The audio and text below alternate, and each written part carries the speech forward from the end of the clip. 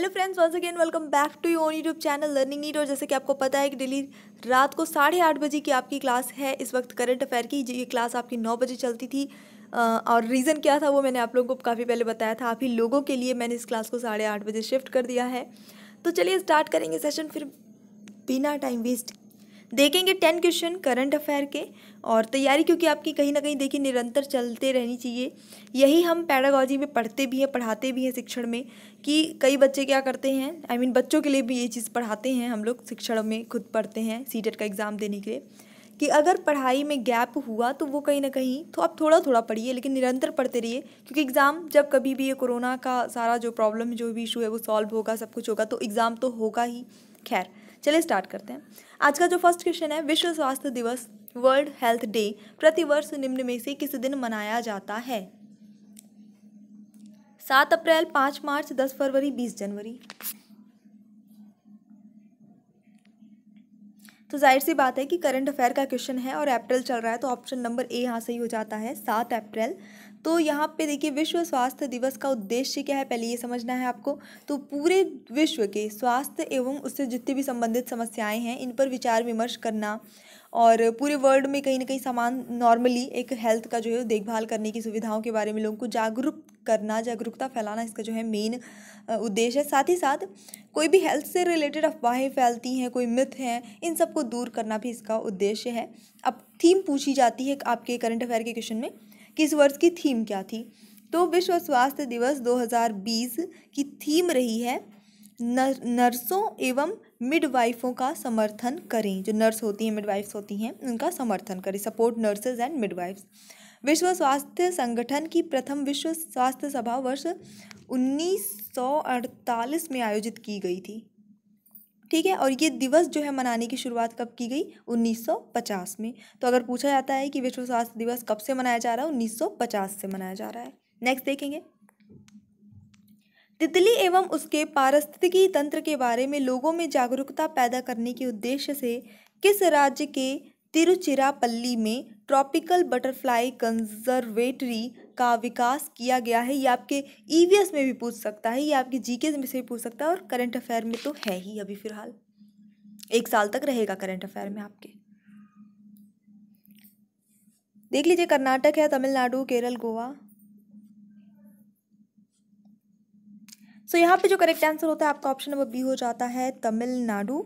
ये इसका सही आंसर हो जाएगा। नेक्स्ट क्वेश्चन देखेंगे। हाल ही में स्पाईवेयर पेगासस का निर्माण करने वाली किस देश की तकनीकी कंपनी एनएसओ ग्रुप ने कोरोना वायरस के प्रसार की निगरानी हेतु एक सॉफ्टवेयर के परीक्षण की जानकारी दी है? रूस, जापान, इजराइल, इराक। तो यहाँ पे जो इसका सही आंसर होता है वो होता है आपका ऑप्शन नंबर सी इजराइल।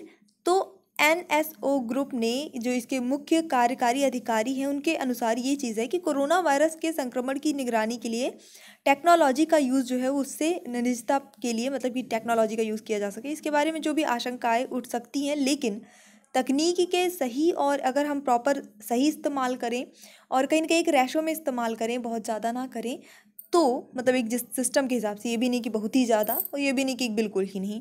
और थोड़ी प्राइवेसी को ध्यान में रखते हुए इसके साथ हम जो है यूज़ करें तो कहीं ना कहीं जीवन बचाया जा सकता है लोगों का।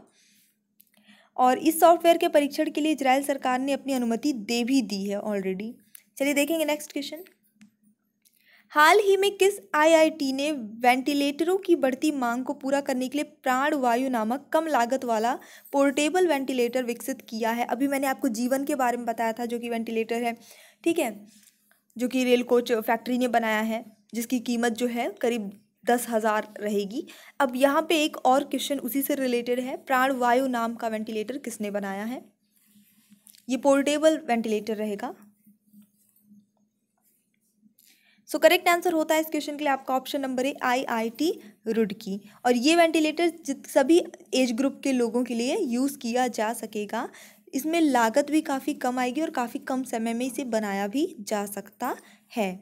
ठीक है, फ़िलहाल वेबिनार में जो है 450 कंपनियों को प्राणवायु वेंटिलेटर का डिज़ाइन जो है वो दिखाया गया है, प्रस्तुत किया गया है, जो भी इसमें इंटरेस्ट लेती हैं बनाने में। ठीक है, नेक्स्ट क्वेश्चन देख लेते हैं इसी के साथ हम।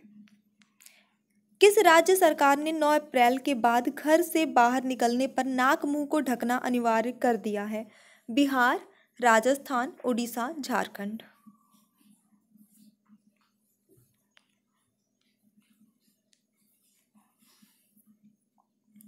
और सही आंसर होता है इस क्वेश्चन के लिए आपका ऑप्शन नंबर सी उड़ीसा। तो भारत में कोरोना वायरस के जो है मामले आपको पता है कि लगातार बढ़ रहे हैं। इससे निपटने के लिए केंद्र सरकार की तरफ़ से जो भी कोशिशें हैं वो तो हैं ही लेकिन सभी राज्य सरकारें भी अपनी तरफ़ से कुछ ना कुछ आ, कोई संपूर्ण लॉकडाउन कर रहा है कोई कर्फ्यू वाली सिचुएशन क्रिएट करनी मतलब राज्य सरकारें भी अपने अपने हिसाब से अपने अपने स्तर पर पूरी कोशिश कर रही हैं जो जो पॉसिबल हो सकता है। तो उड़ीसा सरकार ने अब लॉकडाउन के बीच ज़रूरी सामान लेने के लिए अगर कोई घर से निकलता है तो उसको नाक मुँह ढकना अनिवार्य कर दिया है। और ये आदेश जो है नौ अप्रैल से पूरे प्रदेश में लागू हो जाएगा और आदेश अगर कोई नहीं मानता है, ऐसा मिलता है कोई पर्सन जिसने नाक या मुँह नहीं ढका है, बाहर है वो तो उसके खिलाफ जो भी है कार्यवाही भी होगी। चलिए देखेंगे next question Hurun global rich list के अनुसार कोरोना वायरस महामारी के बीच दो महीने में भारत के किस अमीर शख्स की नेटवर्थ एक दशमलव चार चार लाख करोड़ रुपए घटी है? Gautam Adani Anil Ambani, Mukesh Ambani, Lakshmi Mittal.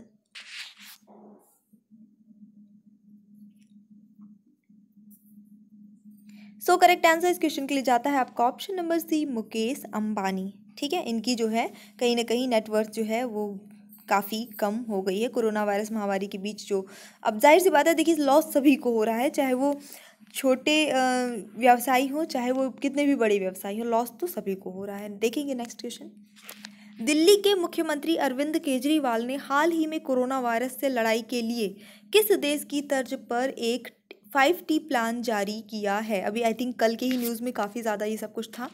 News ज़रूर देखा करिए आप लोग, घर पे ही हैं और ठीक है, शक्तिमान और रामायण तो देखना ही है, लेकिन न्यूज़ देखना है, वो सबसे इंपॉर्टेंट है, वो आपके काम आएगा।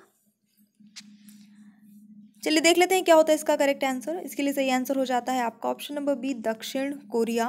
तो दिल्ली के मुख्यमंत्री जो है अरविंद केजरीवाल ने इन्होंने दक्षिण कोरिया की तर्ज पर एक फाइव टी प्लान जो है वो जारी किया है। और ये फाइव टी का मतलब क्या हुआ? इसमें ये पाँच जो टी हैं, ये टी का मतलब ये वाला टी हो गया। ठीक है तो इसका मतलब हो गया टेस्टिंग ट्रेसिंग फिर ट्रीटमेंट फिर टीम वर्क और फिर ट्रैकिंग इसका जो है सहारा लिया जाएगा। और इन्होंने कहा है कि दिल्ली में एक लाख लोगों की रैपिड टेस्टिंग की जाएगी। अभी फ़िलहाल दिल्ली में करीब 525 कोरोना मरीज़ है। अभी थोड़े अपडेट हो गए हो तो नहीं कह सकती हूँ। आप जब तक वीडियो देख रहे हो सकता है तब तक, क्योंकि हर थोड़ी देर में जो है आंकड़े बदल रहे हैं थोड़े थोड़े बढ़ रहे हैं। सो ये ऐसा फिक्स नहीं है।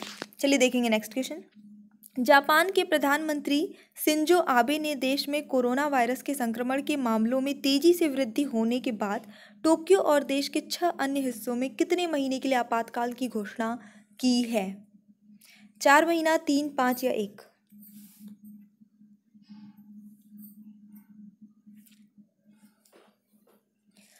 तो यहाँ पे जो करेक्ट आंसर होता है वो हो जाता है आपका ऑप्शन नंबर डी एक महीने के लिए इमरजेंसी घोषणा की है इसकी स्थिति जो है छः मई 2020 तक बनी रहेगी।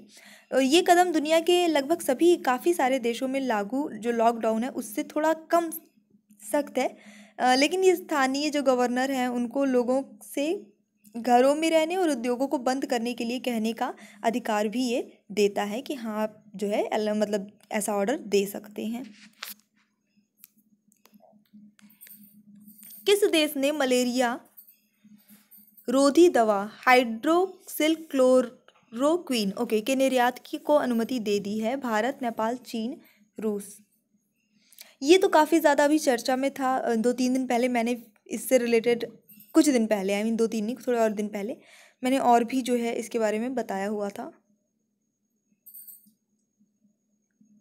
चलिए देख लेते हैं क्या होता है इसका correct answer option number A से ही हो जाता है भारत। इसको लेकर सरकार ने बहुत बड़ा जो है ये कदम उठाया है। सरकार ने इस दवा पर जो निर, इसकी दवा के निर्यात से जो आंशिक तौर पर प्रतिबंध फ़िलहाल हटा दिया है तो ये जो है अब एक्सपोर्ट हो पाएँगी। किस देश में तुत्सी समुदाय के खिलाफ नरसंहार पर अंतर्राष्ट्रीय दिवस मनाया गया? Kenya Rwanda Somalia Zambia so correct answer होता है यहाँ पे आपका ऑप्शन नंबर बी रवांडा ये इसका करेक्ट आंसर हो जाएगा। तो रवांडा में तुत्सी के खिलाफ उन्नीस के नरसंहार पर अंतर्राष्ट्रीय दिवस जो है, वो सात अप्रैल 2020 को मनाया गया है। संयुक्त राष्ट्र द्वारा ऑलरेडी इसको मनाया गया। खैर, चलिए देख लेते हैं। यहाँ पे मैं बता दूँ कि रवांडा हर साल अप्रैल में अपने वार्षिक सौ दिनों के शोक की शुरुआत करता है। अप्रैल से ये सौ दिन का शोक जो है वो स्टार्ट करते हैं, जो कि तुलसी अल्पसंख्यक के खिलाफ जो नरसंहार हुआ था, उसकी याद दिलाता है, उसके, उसमें है। करीब सौ दिन तक चले ये नरसंहार जो है, सौ दिन तक करीब चला था। इसमें पाँच लाख से लेकर दस लाख लोग जो है मारे गए थे, यानी कि एक बहुत बड़ा ये ट्रेजडी थी। ठीक है? चलिए फिर देख लेते हैं। अब यहाँ पे बता दें कि ये जो संख्या थी पूरे देश की आबादी के करीब बीस परसेंट थी, यानी कि लगभग पूरे देश के बीस परसेंट लोग इस नरसंहार में ख़त्म हो गए थे। आई थिंक पर्याप्त जानकारी इसके बारे में मैंने दे दी है। अगर वीडियो पसंद आया है तो लाइक कर दीजिएगा शेयर कर दीजिएगा। चैनल पे न्यू है तो प्लीज़ सब्सक्राइब करके जाइएगा। क्लासेस की टाइमिंग है सुबह दस बजे, शाम को पाँच बजे और रात को फ़िलहाल साढ़े आठ बजे। ठीक है लॉकडाउन ख़त्म होते ही ये फिर से अपने पुराने टाइम यानी नौ बजे कंटिन्यू किया जाएगा। So thanks for watching keep staring and bye bye